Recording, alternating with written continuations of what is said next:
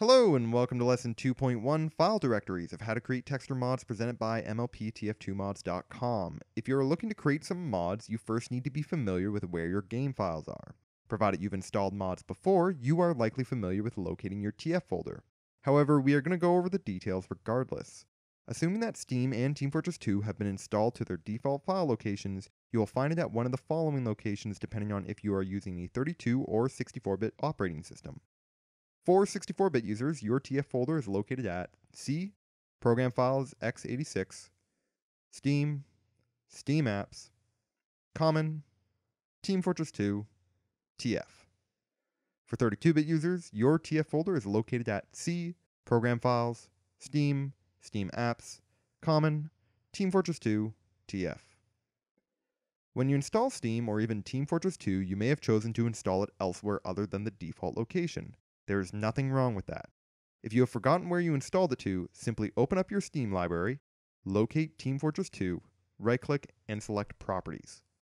In the window that pops up, click on the Local Files tab, then select Browse Local Files. Windows Explorer will now open to your Team Fortress 2 folder, which contains your TF folder. Additionally, if you follow the file paths but find the folders are missing, check to make sure the files aren't hidden.